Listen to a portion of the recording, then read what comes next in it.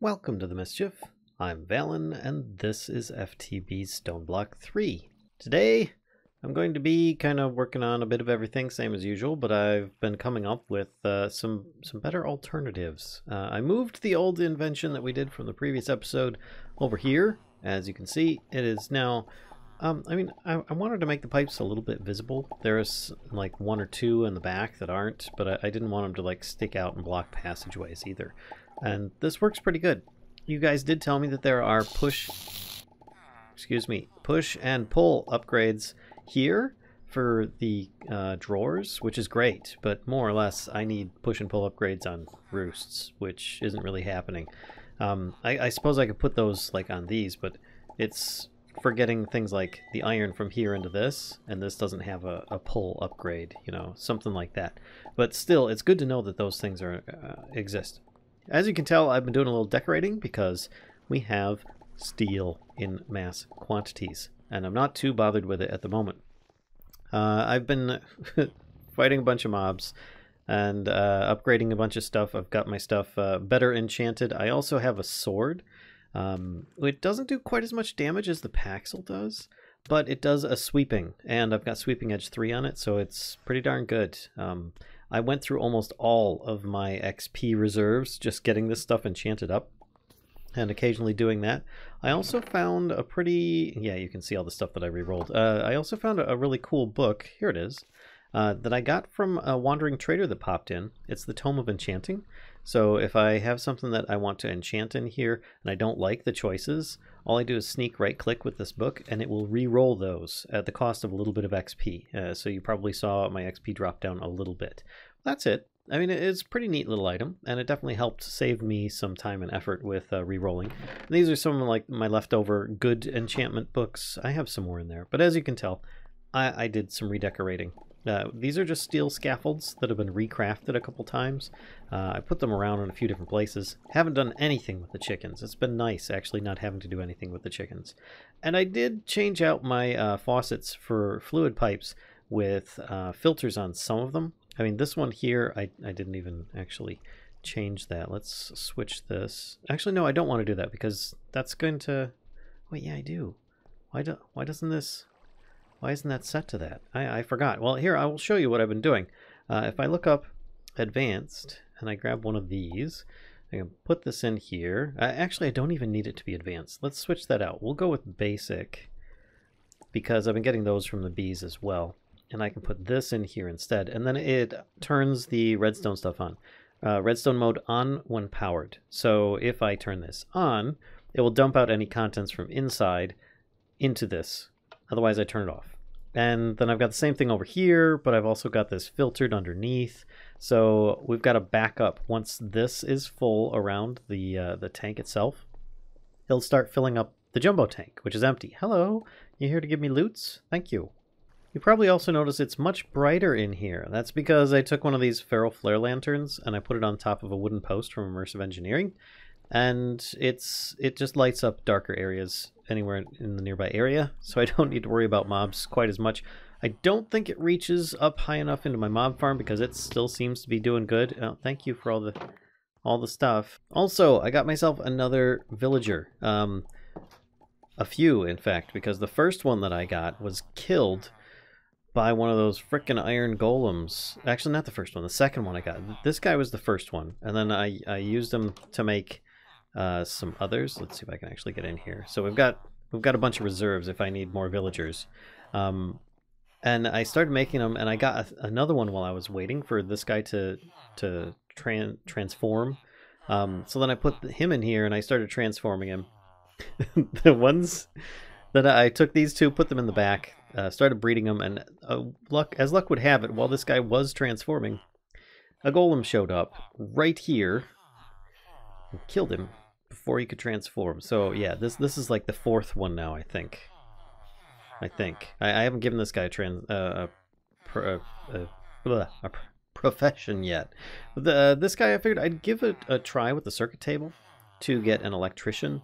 Which, yeah, I, I get LV wire coils for one emerald each, which I don't have to worry about microcrafting at least. Same thing with HV wire cables. Um, and he's a master now, so I was able to get a few other things, like parts of a Faraday suit, but it wasn't the things that I was really hoping to see there. Uh, I actually wanted to have a, uh, a shader villager, but you have to have shaders in order to make a shader villager. Yeah, it's kind of annoying. Things to work on today. Uh, I was going to try and start on, oh, right, Botania. Uh, I, I was told by you guys a really great tip that the, the repair talisman doesn't even need to be in my belt slot. That's just a convenience thing. If I go in here, we could potentially start making some really nice things. Um, I wanted to get a little bit of Botania and continue on a little bit more with um, some immersive engineering. I don't know how much we're going to get through today. I doubt we're going to get through all of it because I did have to rethink my process. Plant oil, and I think I had bioethanol, but it turns out I can't get bioethanol without going to the nether section. And the whole point of making this tunneler was so that I would use it to get to that section. So I, I, was like, nope, nope, that doesn't make sense. So we're going to try for ethanol instead. But that aside, we need to make a few runes so that I can make myself a Sojourner's Sash, which will give me step assist and a speed increase as uh, I'm running around the base. There we go, one mana spreader. And, you know, I'll just put it here for now. And I know that I've got my wand here. Is it set on bind mode? There we go, bind mode. This to here. I don't think that it's actually working the way that I was hoping it would. But that's that'll work just fine regardless, because I could just set it over here if I need to. But I will still try this. Um, so let me get the ingredients for some of these runes that I need for the Sojourner's Sash, because I need a rune of air and a rune of earth. And I've been getting mana steel ingots from bees, but you can also just toss some iron into a mana pool and, and get it that way. Okay, I've got a few of the items, but I just need that. And I think I need some sugar or something along those lines to make the mana powder. There we go. And then that automatically triggers this because a little bit of mana was used, which is fine. Uh, then I take all the ingredients, uh, block of coal, mana powder, mana steel, brown mushroom, and a stone. That That's andesite. Oh, I dropped it accidentally on here because I've got a transmutation thing under here, um, uh, or an alchemy catalyst, which uh, it's just made with some living rock, brewing stands, and a mana pearl, which is a, a, an ender pearl tossed in a mana pool. And this will sometimes transform one thing into another if you drop it in that pool. But I forgot, and I was standing on that when I dropped this, so yeah, it transformed it. Let me get it. Let me get a stone. There we go. And yes, it does seem to be working. So I can leave this one on top for now and have it powering. And you can see the little timer on the right. And there, it's complete. And now it's saying that it needs, uh, not two. Uh, I hate it when it always takes two out. It's saying that you need to drop one of these on here and then click it with the uh, the wand of the forest. So if I toss this on, then click it, I get myself two runes of earth. Excellent. And then as before, a feather, string, carpet, mana powder, and mana steel ingot.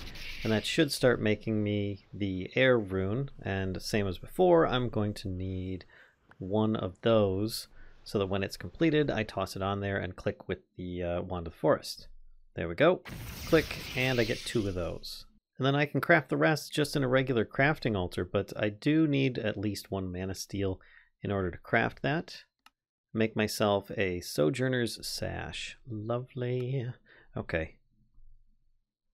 Scrolling down, I can put this in the belt slot, and it uses mana very, very slowly from your tablet in your inventory, and I now have a little bit more speed to get up and around, and I automatically can step up on surfaces. This is really nice. it makes it so much easier to get around the base now. I love it. Now there's plenty more I want to get into with magic, like, you know, the Globetrotter's Sash, but that does require fighting a, a certain uh, boss type character from Botania, and uh, I am powerful enough that I could easily overtake that one. But I don't really want to set up the arena for that just yet. I figure that's going to be for a future episode, and this will allow me to go even faster. So ultimately, I want to make a refinery to make the biodiesel, but if I were to go back a little bit further, I'm going to need an industrial fermenter to make the ethanol. In the Engineer's Manual of Immersive Engineering, under Heavy Machinery, is the fermenter, which then I can click here and you get a list of all the things that you're going to need in order to build this thing. And with everything in my inventory, I should be good to go. You have this little thing that you can like kind of press play and everything like that for if you really want to.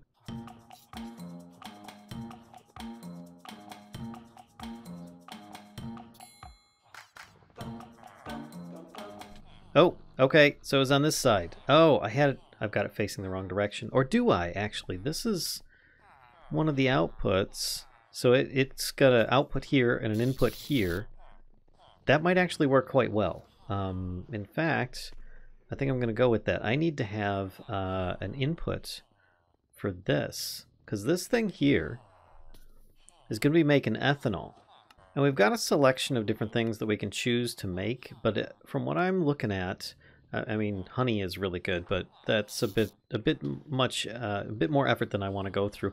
I'm thinking glowberries is probably going to be pretty good, and I think I can grow those in something um, that isn't just uh, this. You know, like like your little uh, hopper botany pots. I could set up like a whole bunch of them and have them just outputting. But as one of the rewards that I got for uh, you know completing quests and stuff, I got three cloches and I don't know how good or bad these are going to be. Uh, and I could probably take some of this stuff off. Where's the output for this? The output's on the front. Input on the back. Inputs on the sides. Okay, so I could probably have this right here. I wonder if I actually have this facing that, if it will just directly output. I don't know without trying it, so let's do that and I guess we can find out. I mean, it looks like it, it might work. I, I don't know. But it will need some water and other things like that. I don't know what the, uh, the berries will grow on. I did put some in here in anticipation, so I'm going to take a stack of these. And we'll see if it takes just regular dirt to start with. So if I put some dirt in here, then a glowberry, and then it's going to need some power. I, I believe, if I remember properly, it's been some time since I've used immersive engineering. You can actually attach power here or on the top. Um, I think that there's like, yep, there's a spot here that you can attach as well. And what I think I'm going to do, because um, I think it's actually on the other side, on the back too. Yep, so I could probably put a power source back here, like uh, some kind of generator. I could put a lapidary uh, generator here, or, well, dynamo, I guess I should say and have this face into it and hopefully that will be good. But it's also going to need water coming into it, which I think, yeah, that's on this side. Hmm. So what I could do is put some water here, and then I could put a specific water pump. I'm going to try the immersive engineering one because I think it'll actually fit in here for what I'm going to try and do. I think that's good. So if I take the immersive engineering hammer. Opposite side, fluid input, output. There we go. And then I could probably have a lever just on here to activate that, but it may also need some power as well. So I'm kind of seeing a little bit of a theme here because the power, yeah, plugs in on the top. All right, let's try this out. So I'm going to have a chicken down here uh, that is going to be producing coal put the item pipe down on top. Then I can put the lapidary dynamo on top of that. Coming around the side here, I can then have things piping out from here into the lapidary dynamo. Oh shoot, that that's a coal chicken. I don't want a coal chicken. I want a diamond chicken for the lapidary dynamo so that it can keep up with it because right now it's only 40 RF. There we go. Okay which I don't know how much this is going to use. I don't remember actually. And I'm not going to go with any fertilizer if it can be avoided. Um, I do, however, need to add a little bit of water. And thankfully I've got some of these water eggs that I can just click into place and create water. Oh, unless there's flowing water there already, and then in that case I can't? Really? That's really annoying. Okay. Then I'm going to need a little bit of energy pipe to have this stuff hooked up properly. Let's see about putting some up here, then connecting that, coming over and connecting that. And of course, as before, I'm going to need to get up here and have it coming out to power these devices. That's getting power. That's getting power. Excellent. So then everything should be good, if I'm not mistaken for it to start grabbing water from below and pumping it into here. Yep, look at this. We've got water, we've got power, and we just need the glowberries, which, yeah, okay. All right, in a cloche, it needs a moss block. which I could make with either manipulation essence from Ars Nouveau or a phytogenic insolator if I already have one.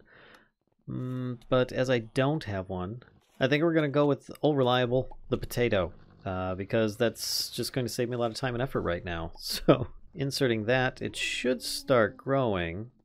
I don't know that it's going to be that fast though. Does it actually require fertilizer at this point? I thought that that would be enough. And a garden cloche, potato, dirt, and a, uh, it's got power. Does it actually have to have fertilizer now?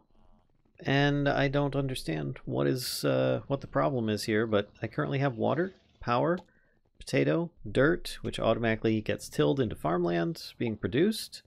And yeah, uh, apparently bone meal doesn't even want to be used either. I checked the books and everything and I don't find anything off. Either way, it looks like I'm going to need some more power to go over to this as well. Get this industrial fermenter up and running. And let's get an upgrade in this dynamo. Here we go. One resonant integral component should give it a nice big buff.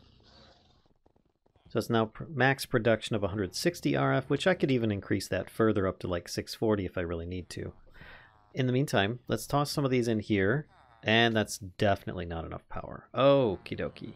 Jumping up here, let's open this up and put in three auxiliary reaction chambers, which increases the generation rate but reduces efficiency. I don't care about efficiency because it's generating so much power anyway. And now we're producing 640 RF per tick.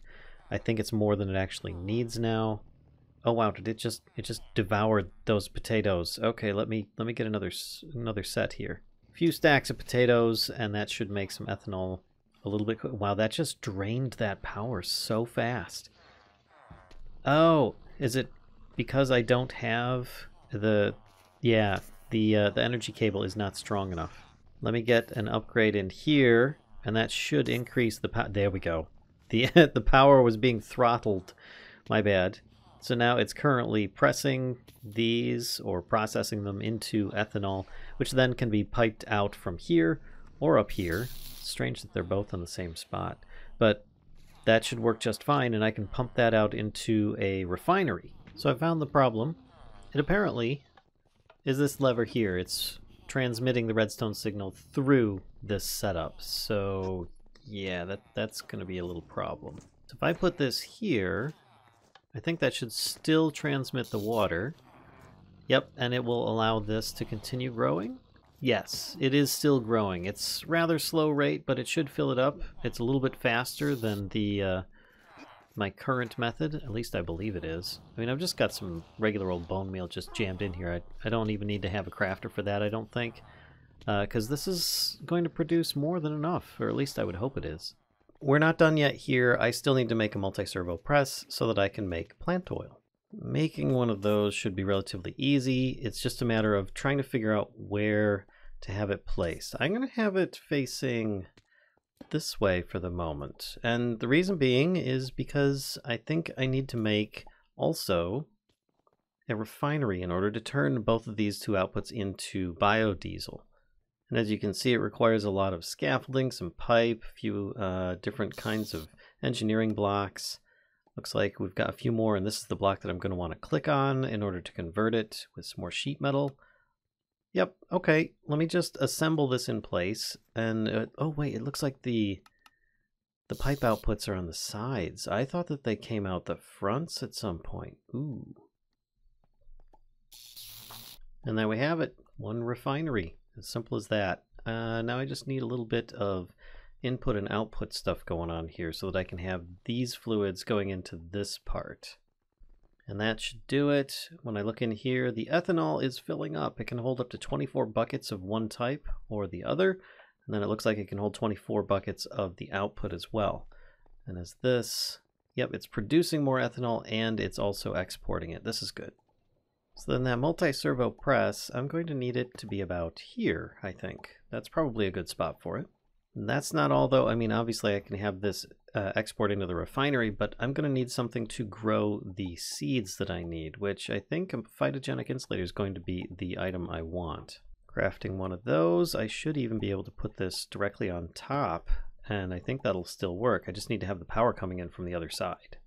So let's try putting in some industrial hemp seeds in here. It doesn't have any kind of Phyto-Gro or bone meal or anything like that to enhance it, but you can see that it's going to go a bit slow, so maybe I can increase that speed.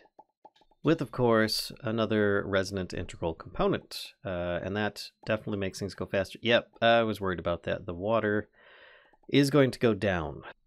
All right, the opposite side is now fluid output, and I should with the power going in, redstone signal and everything, be able to give this thing some uh, a bit of some water just by having input on the back. Yep, there we go. That's much better.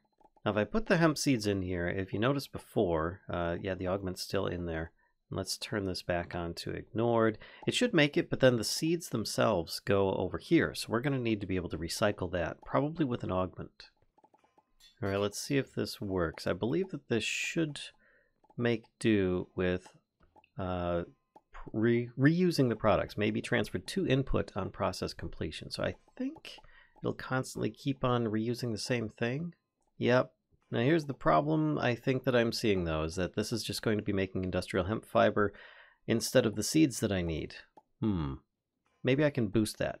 There we go, increases non-primary item output production. Hmm, I'm not sure that that's really what I want either. I might switch this out for something else.